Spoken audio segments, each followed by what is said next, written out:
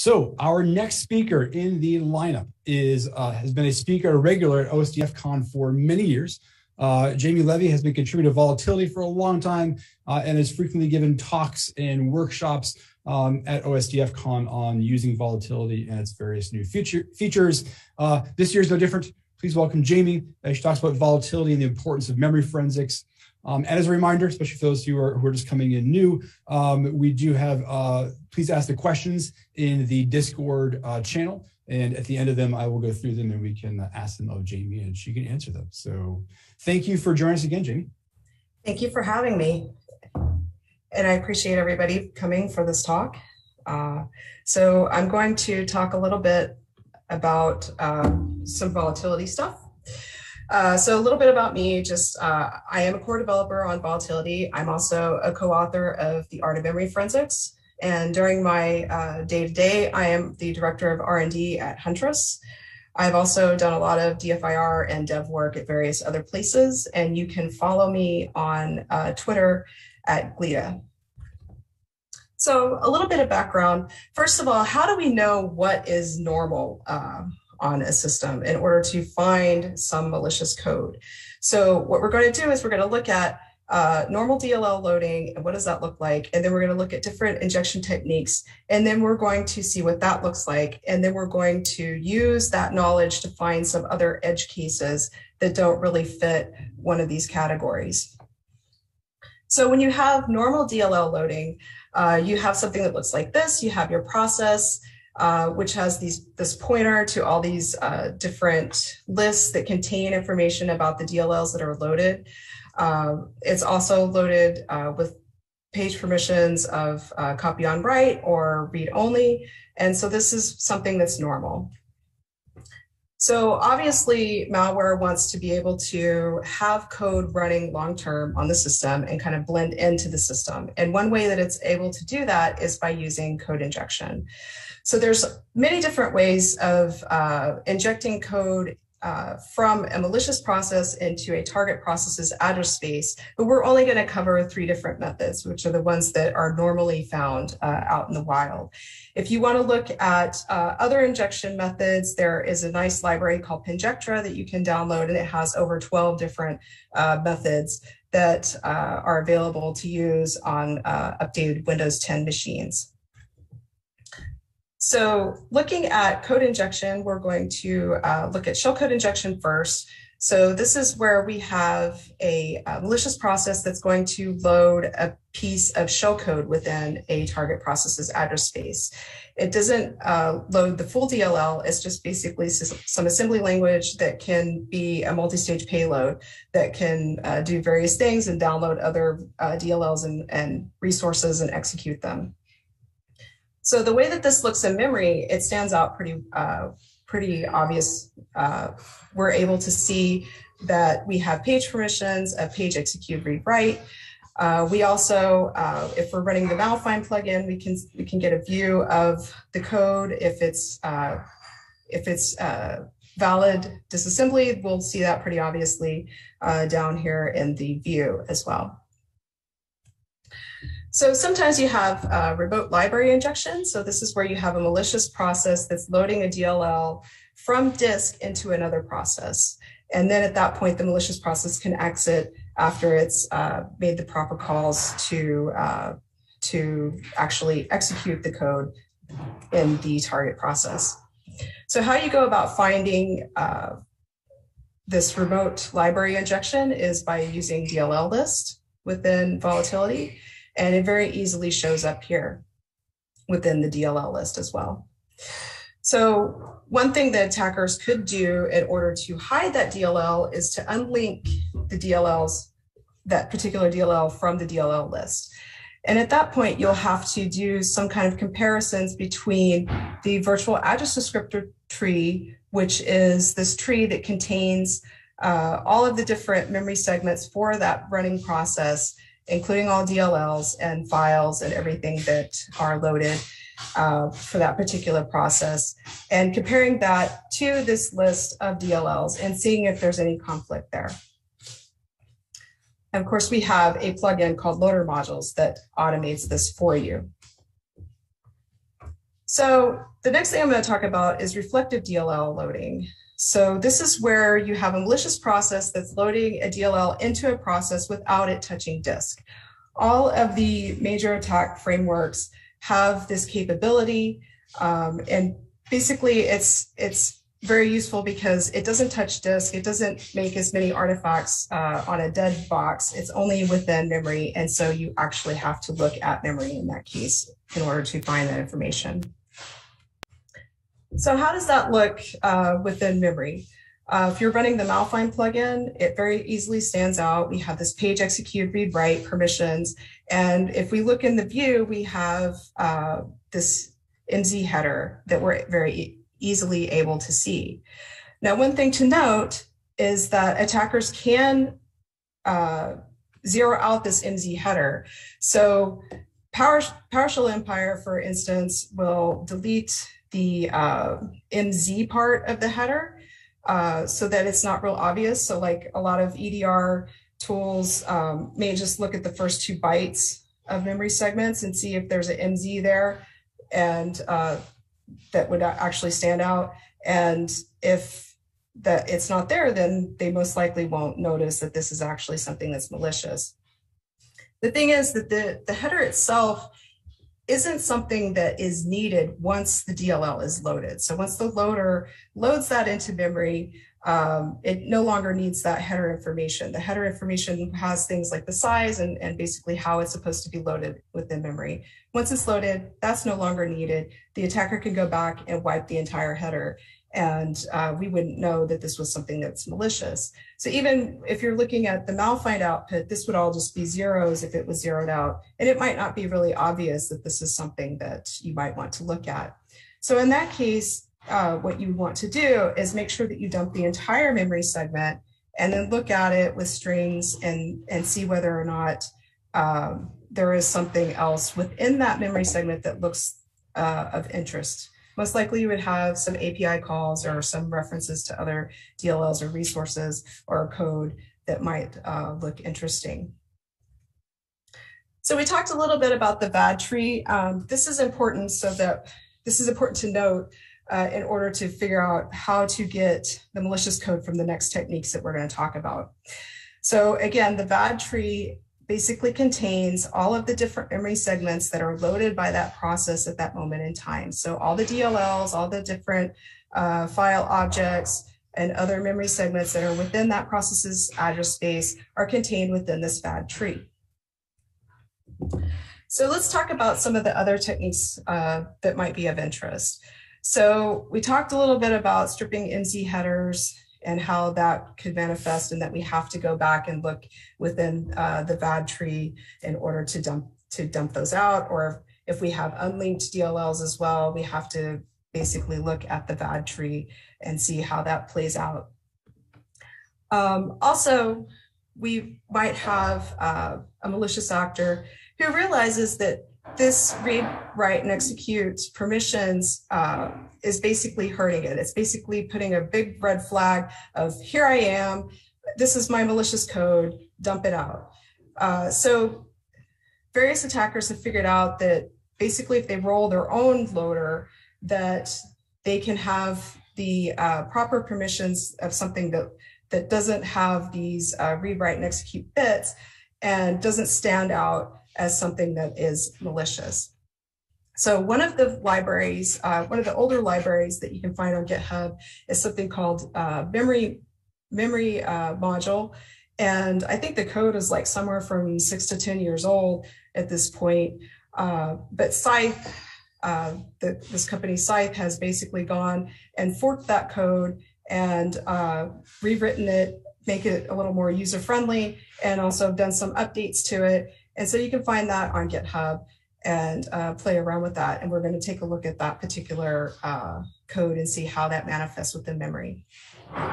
There's also another example that I wanted to go over, uh, which is uh, some uh, Python, or I'm sorry, a PowerShell uh, implementation of Print Nightmare. So if you guys remember, Print Nightmare was like the big debacle that happened earlier this year, uh, where the print spooler was basically exploited and uh, would allow you to do things like add users to the system, et cetera. And so there is a nice uh, PowerShell implementation, which is written by Caleb Stewart and John Hammond, which are brilliant coworkers of mine uh, at Huntress. And uh, so I decided to take a look at that implementation and see how that uh, plays out within memory as well. So now uh, I'm going to do a couple of demos. So the first thing, I, and just to save time, I went ahead and ran this ahead of time because I was having some issues with my virtual machine.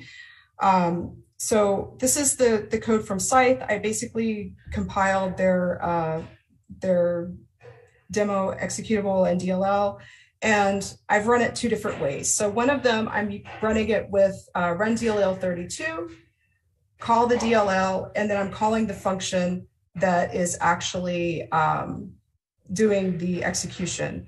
So that function name is uh, do something.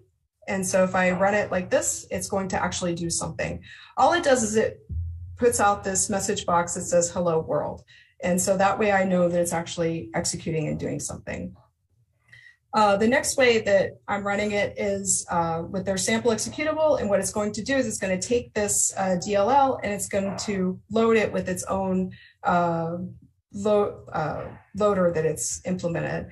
And once it's uh, loaded, it's going to execute that. And we'll have another hello world that pops out as well. So let's see how this actually manifests within memory. So I made a little config file for the memory module. I'm going to run ps list just to see what I have available to me. Uh, notice that I have these two different processes. These are the two processes that I created. One of them is the run DLL 32. Uh, I'm just going to run DLL list uh, against the run DLL 32 process first and see what I have here. And then notice that I, I have this, uh, the sample DLL uh, available to me. So this is just a basic, um, this is just like how the DLL was loaded under normal circumstances. I can look at that within uh, the VAD.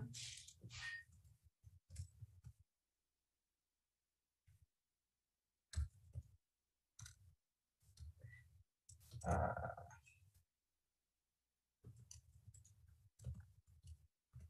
as well. So if I just run VAD info against that particular process and search for that DLL, I will find uh, that this this is how things normally look when you're looking in the VAD when, when DLLs are lo loaded under normal circumstances. So we have the path to the DLL. Uh, we have uh, also this page permission of execute write copy. So these are the things that we're looking at for normal circumstances here. So now if I go back to my process list, I want to look at this particular process because we know that something is different about this one. So first of all, I'm just going to run DLL list and see if there's anything that stands out over there. And if you notice, I don't have anything that's a sample uh, DLL within this list. There's no DLL there.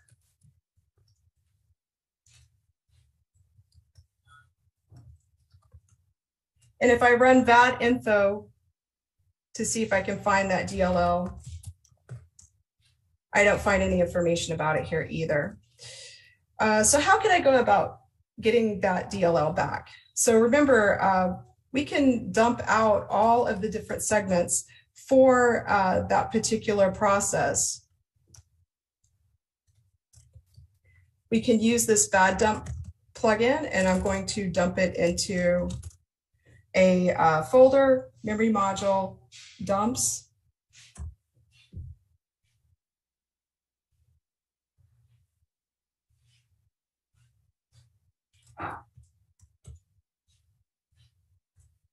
The next thing I want to do is I want to, um, I have basically saved this DLL list for, uh, for my basic info. Uh, when you're looking at DLLs within the, um, the VAD space, this base is the starting point of that particular VAD space. So what I'm going to do is I'm going to look at, uh, I'm going to create a suspects list of these particular um, segments that I have dumped out from memory. And I'm going to see if there are segments that are not within, that are PE files that are not within this DLL list.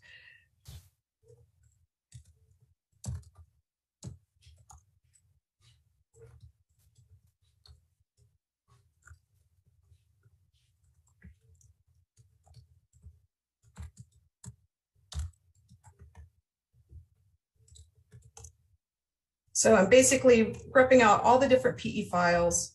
And this part here is uh, the base offset. So that's the start of that VAD segment. So I'm going to look to see if I have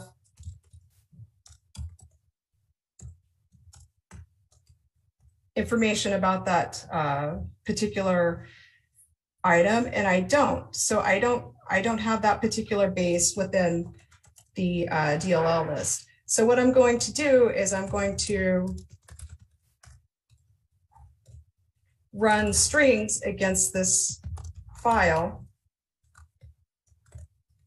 and see what it is. And then I see that this is a, a PE file. If I kind of scroll down to the to the end of it, I see that we I have all these different API calls for uh, various things. I also have uh, the code and just to speed up since I know what I'm looking for. But if I were to uh, basically look through this, I would I would have all the other information. This is just verifying that this is in fact the uh, the DLL that I'm looking for, and uh, I was able to find it. So this is the hello world that we saw in the prompt earlier, and I have this here. Okay, so now I'm going to look at the uh, the nightmare memory sample. So this is my victim. I've run uh, this print nightmare, this uh, PowerShell implementation. I'm just going to uh, run PS list just to get a start and see what I have here. Since PowerShell is still running, uh, I'm in luck and I'm able to see uh, the different items for PowerShell. Now, again, if I were to run uh, DLL list, I wouldn't see anything. If I were to look at uh, VAD info, I wouldn't uh, see anything uh, interesting over there either. Um, so how would I go about finding this? Again, what I could do is I could dump everything, which I've gone ahead and, and done just to kind of save time, uh, dump everything into uh, a folder and kind of go about uh, the same methodology of creating a suspects file and then going through that. Now, the, the downside is that the PE file is not at the start of the uh, VAD segment. And so we have to actually try some other method to uh, get to it. So just out of, uh, just to kind of save a little bit of time here what I'm going to do is I'm going to um, kind of search for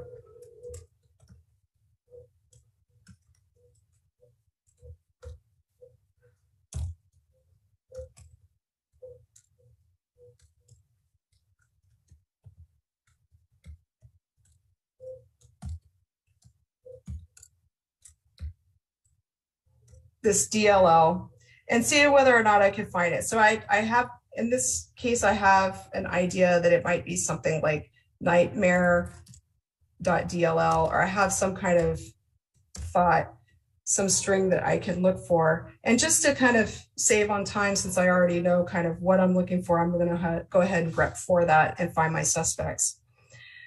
So one thing that you could have done also is you could have uh, grepped for um, for DOS header or anything like that, and seeing whether or not any of these kind of match up.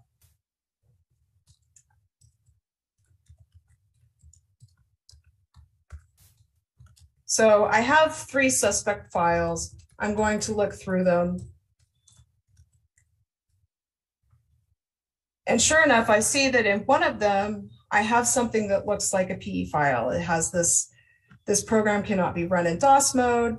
And then we have like several different strings. If I look for nightmare, uh, I notice that I have this, this PDB path uh, from when it was compiled.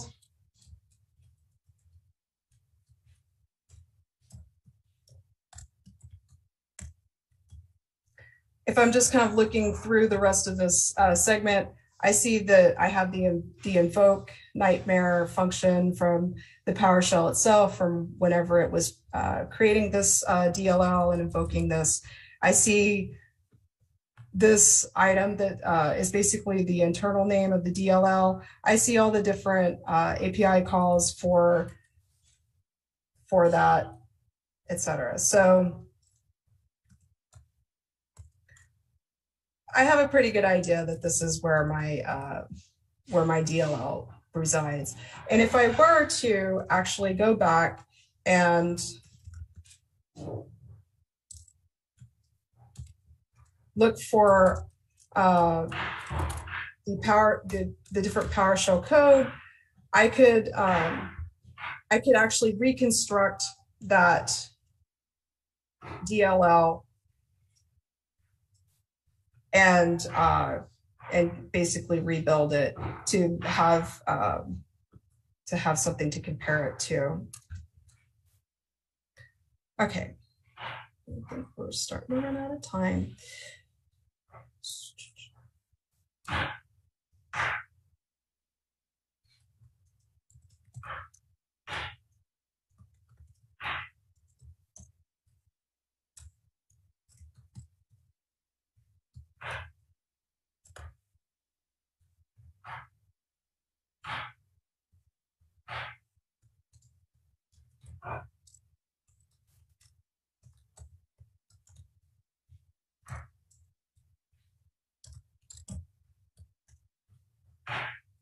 Yeah, so for instance, we here's this function, uh, get nightmare, and there's these different segments of the base64 encoded uh, DLL. So I could pull these out and actually rebuild uh, the DLL just for a, a, proof that this is the DLL that I'm recovering.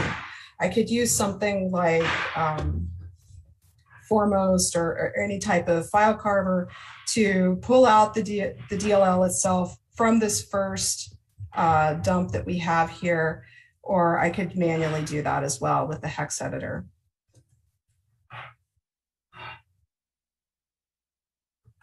Okay, so suppose that um, you don't really know like how to start or you don't know that you're looking for these uh, particular DLLs and you just you just want to get to something fast. Uh, so basically what you can do is you can just kind of try to brute force all of the things. Uh, so we used to do something like this at guidance with disk images where we would mount them and then just run antivirus over them and just hope that something would pop and and kind of have a starting point there. Uh, Andrew wrote uh, a very nice blog post about doing this with uh, memory and uh, basically dumping all of the things and running antivirus on on it and seeing if anything pops out to you as a starting point. So basically running proc dump, DLL dump, mod dump, all of the, the PE dumping things, but also don't forget to run things like MFT parser, which will dump out the small files from the MFT. And you can also dump out the registry files uh, as well as uh, any type of regular files by using dump files. Um, so those those kind of things can have can harbor malicious code as well. Um, and then also one thing to note, when you're scanning things with antivirus, make sure that uh, how you're exposing it to the antivirus is read only. So that way um, your antivirus isn't going to delete the, the files of interest that you want to actually be able to investigate later. Uh, so, you know, if you're using a VM or something, expose it to it as, a, as read only uh, that way you don't lose your information. Also, another thing that uh, I always recommend in investigations is using bulk extractor. Uh, Andrew also wrote a very nice blog post about this, uh, but we use it all the time in our investigations uh, because a lot of times you have attackers and they're they're typing commands uh, to the machine, etc. All of that stuff is unencrypted within memory, uh, so you're able to run bulk extractor, reconstruct it with Wireshark, and basically see what the attacker was typing in and, and the various information that they're getting back. Also, I recommend a lot of uh, different open source tools for doing pro post processing when after you've dumped out all the things like so for things like uh, event logs that you've dumped out, I would recommend using EVTXtract, which is uh, written by Willi Ballenthin. Uh, it's a very very good library uh, for reconstructing event logs uh, which are not easy to con- reconstruct at all. They're going to be, you know, scattered across memory when we're when we're using uh, dump files. It's also going to have like these uh, zeroed out segments because things are not things are going to be paged out. The entire event log is not going to be within memory. Uh, also, I recommend using Python Registry, which is another library written by Willi. Um, you're able to uh, put in some extra error checking uh, so that it doesn't crash whenever you're looking at the registry files that have been dumped out. Again, there's going to be zeroed out segments that are not uh, going to be valid. Uh, that's just part of, of having large files within memory. And then, of course, using uh, Yara and some other um, tools as well. So uh, kind of one last thing, don't forget to do uh, when you're when you're doing your investigations is to timeline all of the things. I don't know how many times we've had uh, cases where we've timelined things and then there were uh, artifacts that we didn't really even know were uh, were uh, relevant, uh, basically because of, of something that the tool did to the system. And this is uh, an example that we've talked about many times before. This is from a public memory sample that was released by Jack Crook. Uh, it was an APT-like scenario across uh, four different machines. And uh, basically when you timeline it, you get the story of what happened. So somebody had downloaded this executable. When they downloaded it, they ran it. You see a prefetch file that's created. You see a service that's being created here uh, after, after that uh, file has run. You start to see attacker tools uh, ending up on the on the system. And the interesting thing is that this attacker tool, like we didn't, you know, you didn't really know what it was. It's just gs.exe. Uh, but then you notice that within the same second after it's been run, uh, that there is a change to a registry key. And that, that registry key is in the security hive, it's policy secrets, and that holds information about um, domain credentials and uh, LSA secrets. And so notice that uh, for some reason, this particular tool um, makes a change to that key whenever it's accessing it. And then also um, you see these DLLs that are being accessed after that. These are used to decrypt those secrets from the registry. And so uh, we're able to see uh, this particular artifact that we didn't even know existed from this tool only because we did a timeline of everything and we were able to figure that out uh, at the end. So hopefully you got something out of uh, this particular talk. Um, I talked a, a, little bit about some uh, different attack methods that, that haven't been highlighted as much, and uh, also just kind of like some uh, different advice about how to go about making sure that you don't leave anything unturned. Uh, just dumping all the things, looking at all the things, and making sure that there are things that uh, that you're able to catch even though you wouldn't possibly be looking for them in normal circumstances. And I hope you enjoyed this talk. Thank you very much. Great. Thanks, Jamie. Uh, thanks. It was always great to see you present uh, as well. One of these days we'll uh, be back in person again, I'm, I'm hoping. Um, hope there's so. a bunch of comments on here, um, a lot about your book and how wonderful the book is, uh, with, along with the rest of the volatility folks on that.